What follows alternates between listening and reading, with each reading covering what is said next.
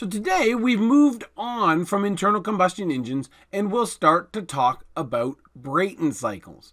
Now, Brayton cycles are natural gas power plant cycles, and we'll see that we also essentially use Brayton cycles for jet engines. So this is the same table we have for US utility scale electricity generation by source in 2019, and we see that natural gas power plants make up about 40% of US energy usage.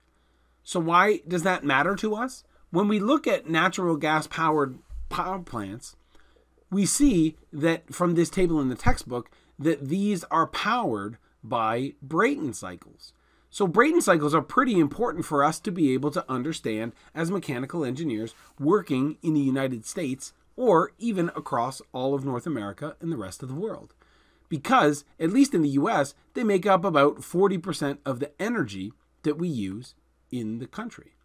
So, why do we like gas turbines? Why do we like these natural gas power plants? So, they're typically faster and cheaper to make, especially when you compare them to nuclear power plants. There are large shale gas deposits in the US, so that moving to gas power plants not only represents lower prices, but also energy independence for the United States. They're used in power plants, but they're also used in vehicle propulsion, in a couple of lectures, we'll start to talk about turbojets and how they use Brayton cycles at the core of their power plant system. But there are still some cons to having gas fired power plants. The first is that natural gas is still a fossil fuel, and while it may have lower emissions than coal, it's certainly not emission free. There's also issues with extracting natural gas. So, in the United States, there's certainly been some political discussion and some environmental discussion about how we best get natural gas out of the earth using the process called fracking. So, there's still some open questions, and I'm sure that there are engineering improvements we can make to that process as well, although that goes beyond the scope of thermodynamics. So, gas turbine power plants essentially look like this you might think that this is only a three component system. So, what we do is we take air in from the environment and we compress it. Remember, compressors are like pumps, but the working fluid is an ideal gas. So, the purpose of this compressor is to increase the pressure of the air. Then, that air goes into the combustion chamber where it gets mixed with fuel and combusted. So, that increases the temperature. And then we have this high pressure, high temperature natural gas air mixture that wants to expand through the turbine. And when it does that, it moves those turbine blades and causes this shaft to spin. Now, what's pretty cool about these types of systems is that the turbine and the compressor are connected by the same mechanical shaft. So, whereas in the Rankine cycle, the turbine was producing power, which was put on the grid, and then the pump is kind of plugged into the grid, so it's running. Here we have this physical mechanical connection so that spinning the turbine also spins the compressor, which gets us to run our system. So these systems are sort of similar to Rankine cycles in that they're all open systems, but they're also sort of different because the working fluid is different. Now, remember our basic Rankine cycle had four components, and this, the way we actually run Brayton cycles, they only have three components. So what we do is we model this like a four component system where this other heat exchanger is added. But in real life, this other heat ex- exchanger is essentially the environment because we're exhausting hot gas out and we're pulling cold gas in. So, somewhere in the environment, this hot gas is cooling back off so that it can become an input to our Brayton cycle. So here's a bit of an animation of how the gas turbine power plant works. So this came from the textbook. So here we have air entering the compressor. So this blue dot comes into our compressor. So here we're adding power in and we're increasing the pressure and the temperature of that natural gas. Air then goes into the combustion chamber where it's mixed with fuel and we get this chemical process. This adds more heat to our working fluid. So it comes out as a high pressure, high temperature natural gas, which means that it's got lots of enthalpy. we get this high enthalpy fluid to run through the turbine, and that generates power. Now, what happens is there's always more air coming in.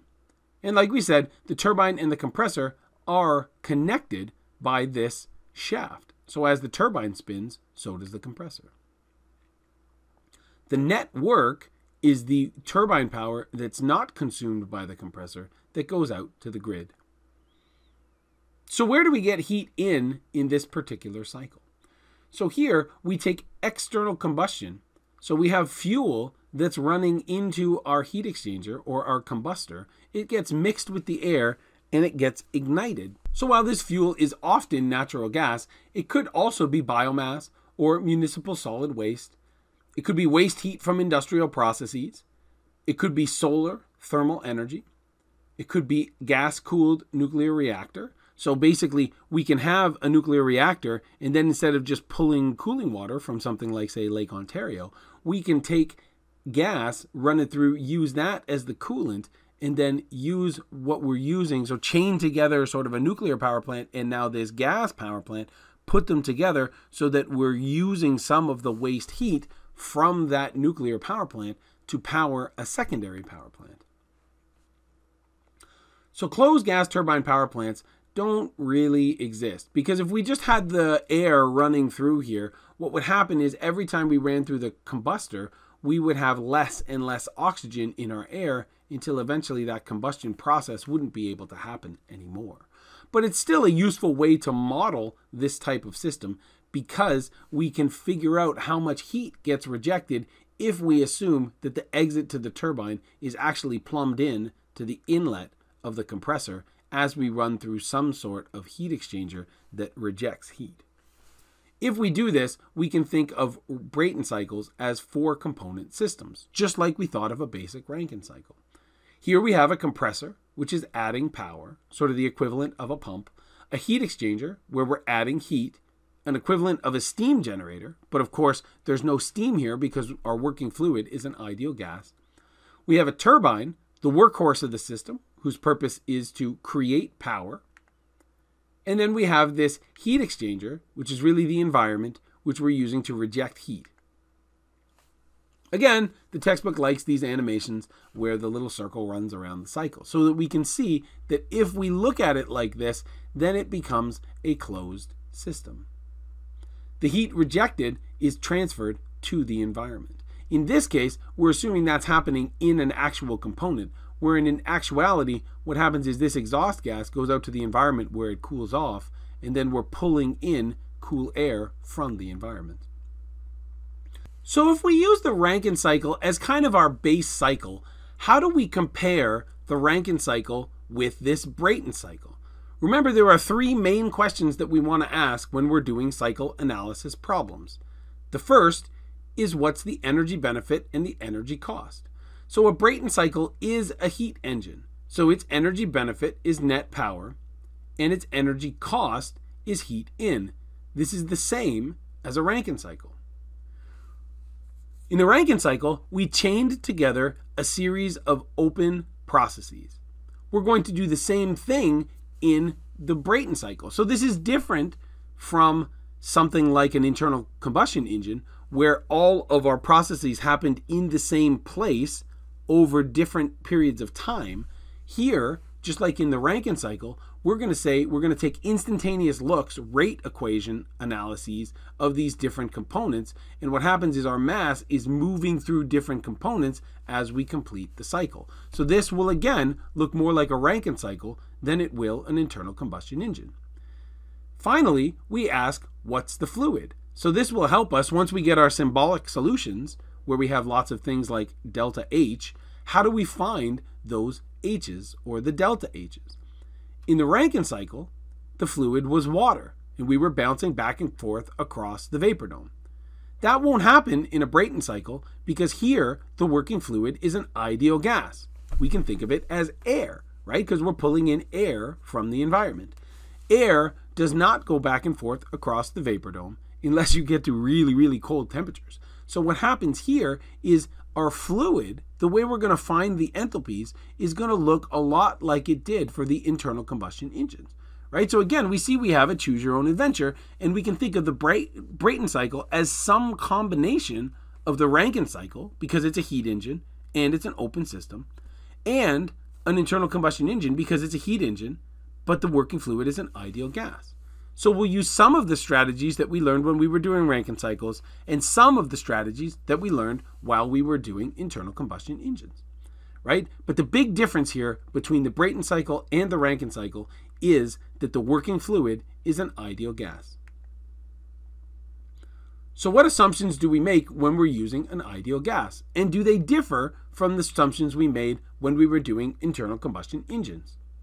First, we're going to neglect combustion. Just like in the internal combustion engine, we're going to say the working fluid is only air. We're going to neglect that any kind of combustion or chemical reaction happens inside our combustor. We're just going to say we're adding heat there. We're not going to make the assumption we did for internal combustion engines where the systems are closed.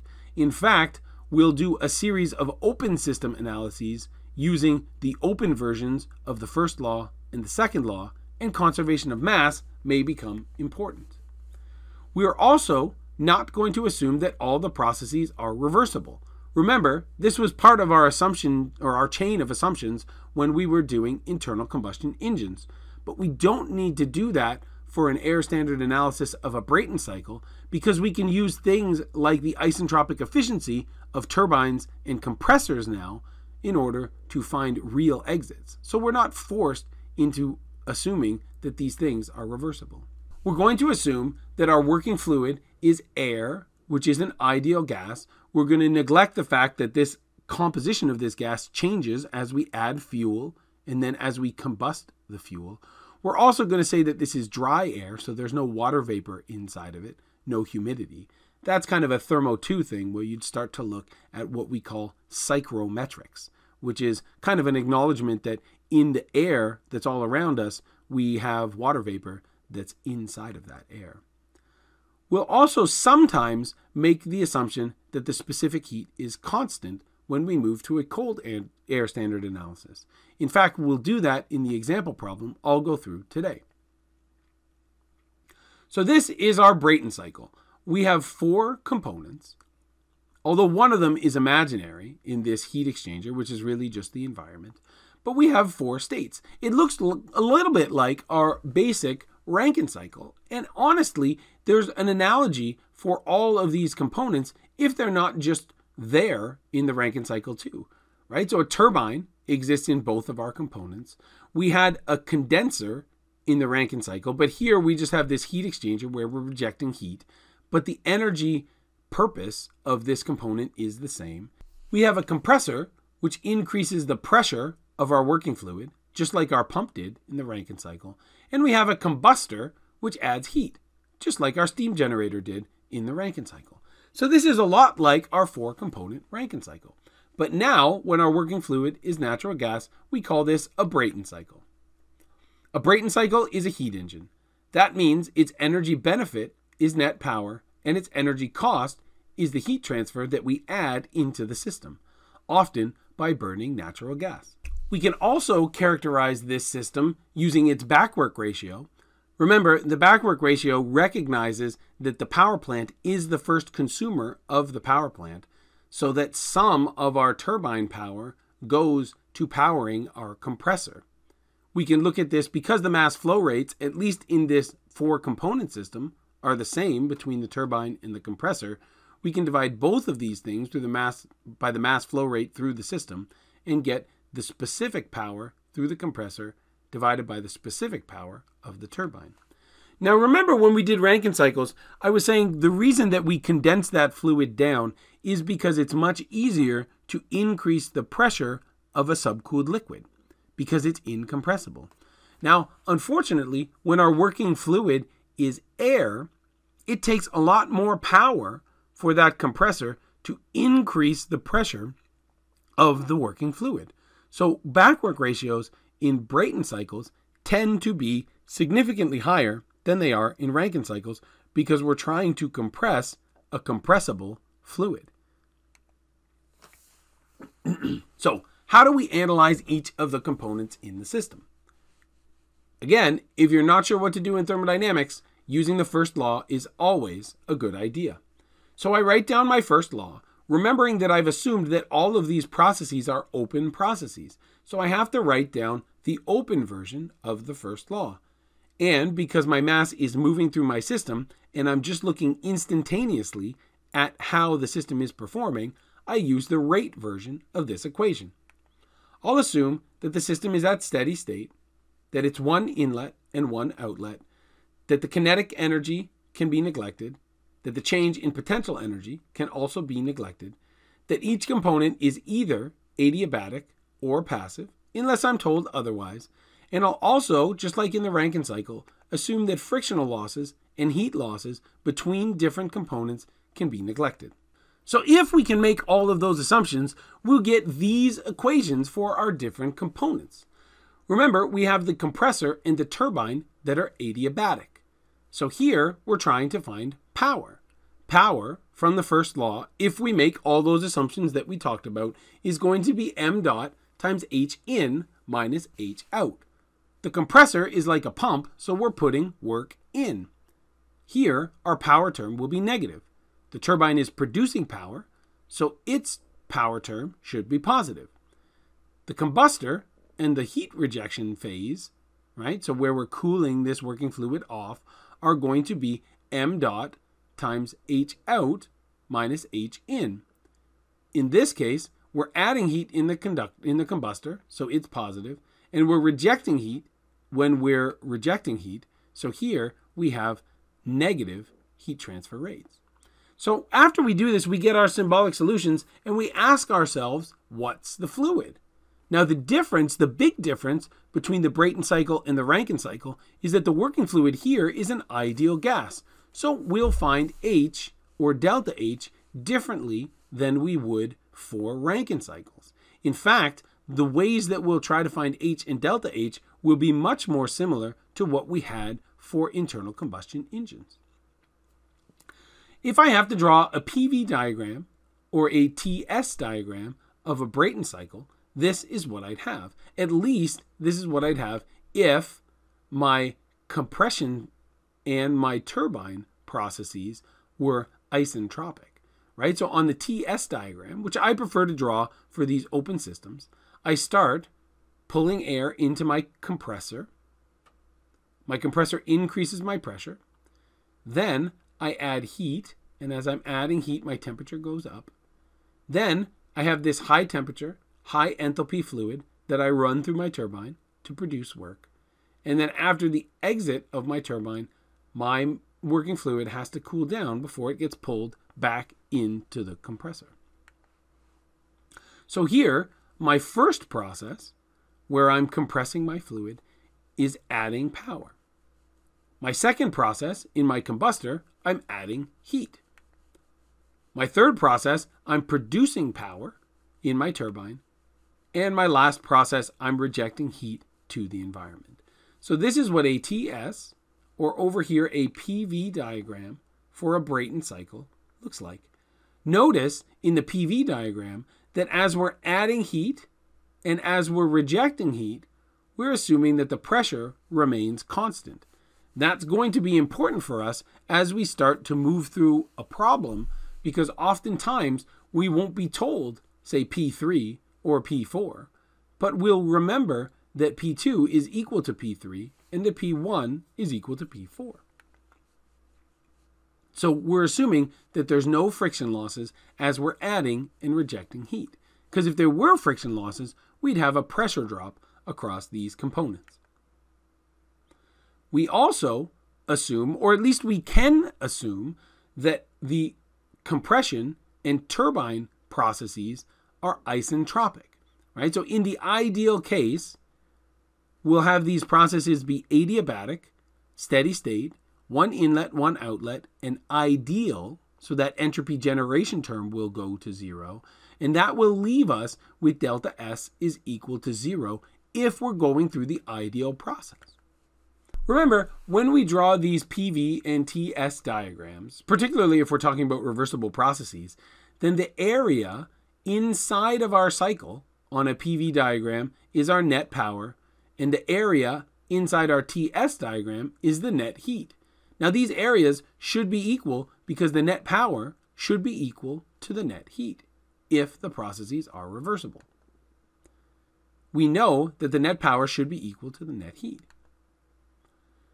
This is important because we can talk about different parameters when we're talking about a Brayton cycle. In particular, we will often talk about the ratio of the pressures at the end of the compression cycle divided by the beginning of the compression cycle. So this is called a compressor pressure ratio, which is not always easy for me to say, but it's kind of like the compression ratio in an internal combustion engine. And here we can see that if we increase our compressor pressure ratio, so then we go from P1 to P2 prime instead of P1 to P2. If everything else stays the same, if we have the same delta S across our system, then we now are going to move up to 3 prime when we add heat, and we've got a much larger area for our cycle. That larger area means more net power and more heat transfer. So if we increase our compressor pressure ratio, we get more net work, which means we get more net heat.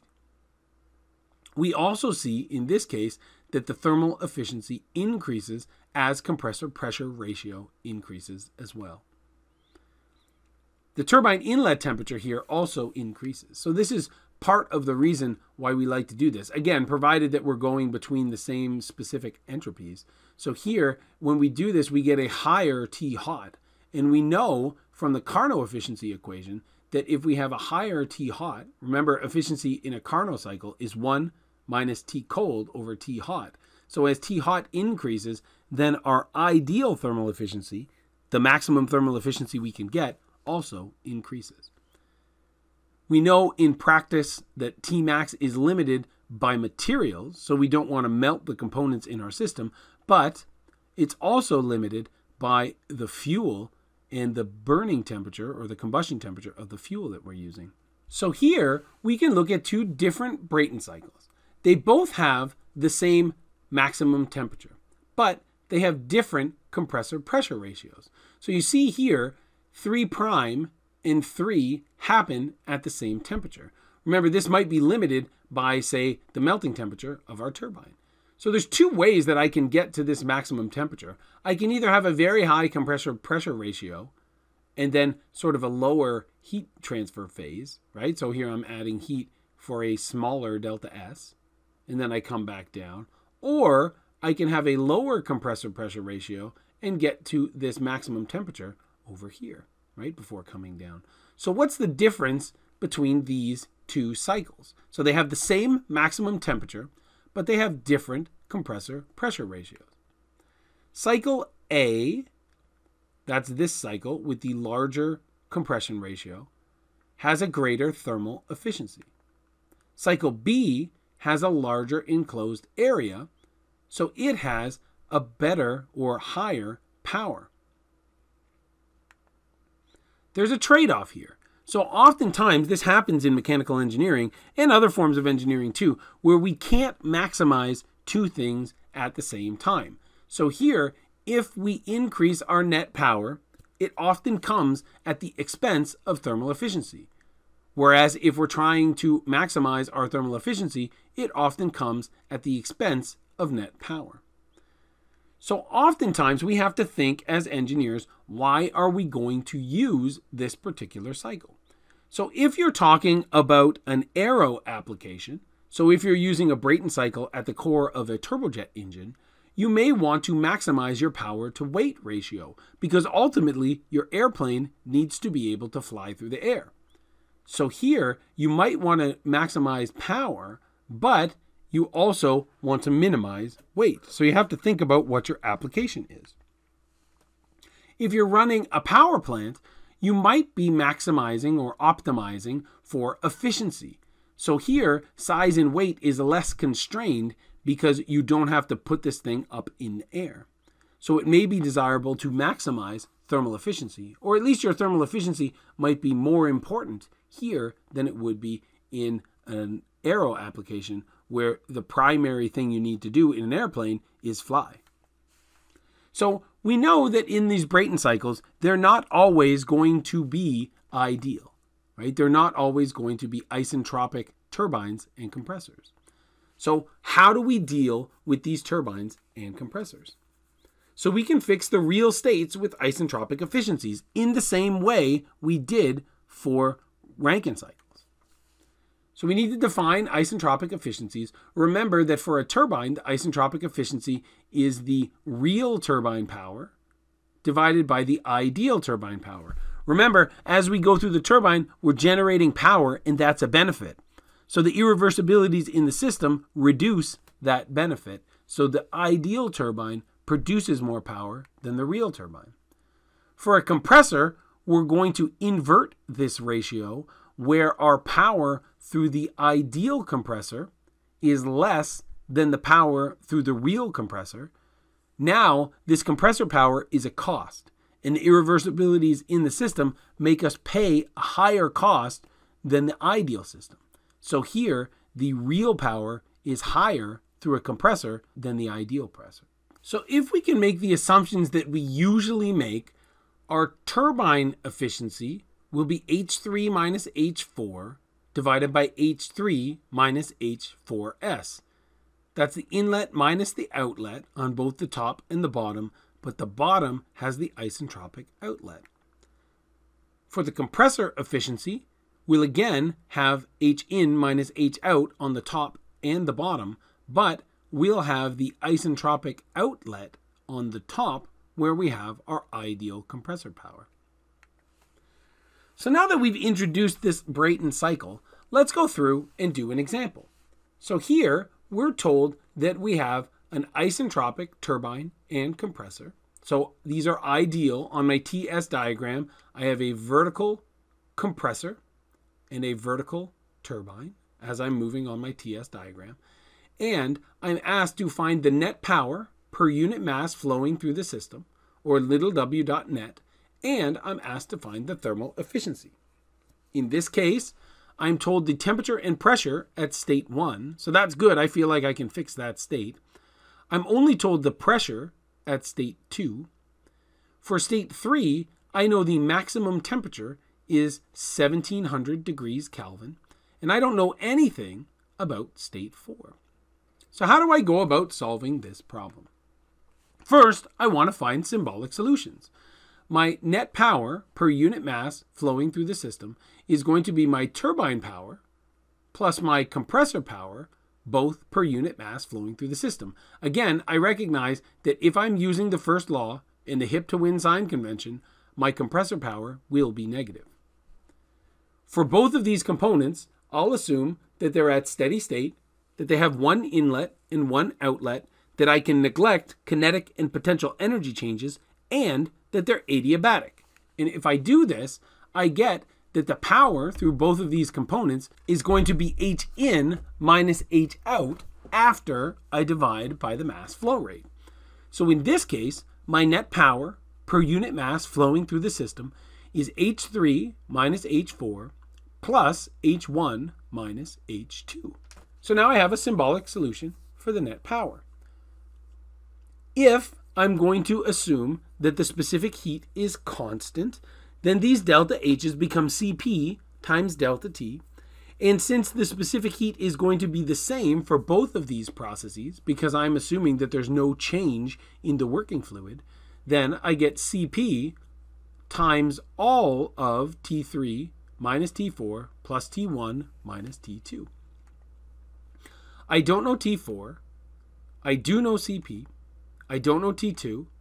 I do know T3, and I do know T1. So I could find the net power per unit mass flowing through the system if I knew T2 and T4. So eventually, I'll go through and fix my states, but for now, I want to get symbolic solutions to all of these parts.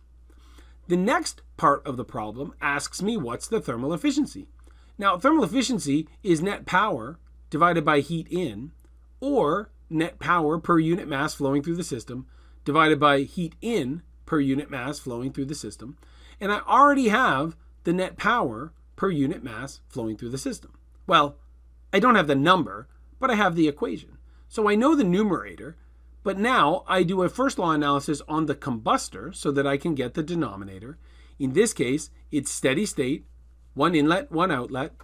I can neglect kinetic and potential energy changes, and the component is passive, meaning that there's no power going on inside the control volume. Now I have an equation for thermal efficiency that's only a function of enthalpies. But I want to assume that the specific heat here is constant. So I pull out specific heat from the numerator and the denominator. I see that it's a factor of both, so I actually don't need CP to find the thermal efficiency. And instead, I know that this is going to be T3 minus T4 plus T1 minus T2. In the denominator, I have T3 minus T2. I don't know T4. I don't know T2. I don't know. I do know T3. I do know T1. And again, I know T3 in the denominator. So here, if I knew T2 and T4, then I would be able to solve this problem. So now I'm at the point where I have to go through and fix my states. So again, I've said this before, but it's important to remember that when we're dealing with cycles where the working fluid is air or some other ideal gas, it's really important that we identify which processes are isentropic. Now, in this case, the isentropic states are not labeled with an S, but I know that my compression, as I go from state 1 to state 2 and I move through the compressor, I'm assuming this is an isentropic process. I'm also assuming that it's isentropic as I move through my turbine, which is from state 3 to state 4s. So those are my two isentropic processes. When I have an isentropic process that's an ideal gas and I'm assuming constant specific heat, what I do is I look for an equation that has K in the exponent. These are the isentropic relationships for ideal gases with constant specific heats. Here, I find that T2S divided by T1 is going to be equal to P2 over P1 all to the power of K minus 1 over K. Now, P2 over P1 is my compressor pressure ratio, right? I get that in this case because it's 800 divided by 100, or my compressor pressure ratio, which is not easy to say, is equal to 8. K for air is always approximately 1.4. So now I have T2 over T1 is equal to 8 all to the power of 0.4 divided by 1.4. I can use this equation to find that T2 is 543 degrees Kelvin. So I put that up in my state table. Now I'm going to move from state 2 to state 3. This is not an isentropic process because here I'm adding heat, so it's not adiabatic. But I already know the temperature, right? Because the problem told me sometimes this is not explicitly stated on the uh, on the state table, but often the problem will tell me something like the maximum temperature in the cycle is 1700 degrees. So here I know that the maximum temperature happens after heat addition. The other thing I know about the heat addition process is that as I move from state 2 to state 3, I'm assuming that there's no friction losses, no pressure losses in the component. So here, I know that P2 is equal to P3, which in this case is 800 kilopascals. So I've already fixed state 3. Now, as I move from state 3 to state 4, I know that this process is isentropic again. So I need to use, again, my relationship for isentropic processes. But before I do that, I have to find out what the pressure at state 4 is. So there's two ways that I can do this. So one, I can use my compressor pressure ratio and realize that's the same ratio of pressures as I have across the compressor across the turbine, but now across the turbine I'm reducing pressure. So I can take this 800 kilopascals and divide by 8 and get 100 kilopascals. I can also remember that this heat rejection process from state 4 to state 1 also happens at constant pressure. So my outlet pressure, so this is the jet exiting into the environment, so that should be the same pressure as the environment. and a jet entering from the environment should also have the same pressure as the environment. So these two pressures have to be the same. Now I know the pressure as I move from state 3 to state 4, which is good because when I use my isentropic relationship with k in the exponent, I'm going to need my pressure ratio. Notice that this is a little bit different than what we did for internal combustion engines because internal combustion engines, where the process was closed, we typically knew the volume ratio or we could find the volume ratio. And in open systems, like compressors and turbines, we'll typically know the pressure ratio, right? So in this case, we know the pressure ratio, it's 1 over R. Again, we know that K minus 1 over K is 0.4 divided by 1.4, and we find that T4S is 938.5. Now, this problem could have been more complicated if we had isentropic efficiencies. So if we had isentropic efficiencies, we would have done the same thing here. It's just we would have first found 2s in the same way that we did, and then we would have used the isentropic efficiency of the compressor to find the real outlet. And we could have done the same thing at the turbine, first finding the isentropic outlet in the same way that we've done here, and then using isentropic efficiency to find the real outlet. Or I could have given you what the real outlet from one or two of those components was and asked you to tell me what the isentropic efficiency was. So these are the kind of things that we might ask you on a test so that you can demonstrate your understanding of the material. Now we have our symbolic solutions for both the net power per unit mass flowing through the system and for the isentropic efficiency. And at this point, because we're assuming a cold air standard or a constant specific heat, these things are only a function of temperature. And because I know all the temperatures, I can find both of these things that the net power per unit mass flowing through the system is 520.7 kilojoules per kilogram, and that the thermal efficiency is 44.8%. Now that's pretty good. I think uh, if you remember when we were using our Rankine cycles, our four component Rankine cycle problem that we did, I think maybe had a thermal efficiency in the 20s, maybe something like 25, 28%, something like that. Um, and here it's 44.8%. So even though the backwork ratios of these natural gas power plants tend to be high, they also tend to have fairly high thermal efficiencies. But if we compared this thermal efficiency to the Carnot efficiency, we'd still be underperforming the ideal case, right? We're always underperforming the ideal case, but as engineers, sometimes we want to ask the question, how do we improve thermal efficiency? We know that this has financial benefits and environmental benefits, so it's a win-win if we can figure out how to do this. In next class, we'll look at how we can improve thermal efficiency of Brayton cycles. Thanks for joining me on thermodynamics. I'll see you again next.